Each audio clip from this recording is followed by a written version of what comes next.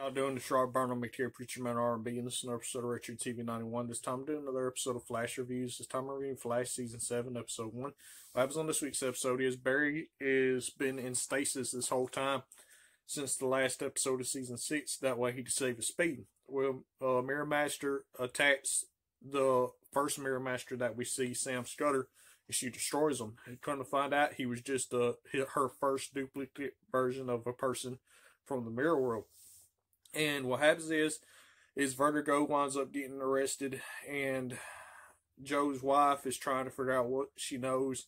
Trying to find out Vertigo was the brains of the operation of her and Sam Scudder, Scudder, and Joe's wife's able to put fear in her heart through her abilities and get her to confess to everything.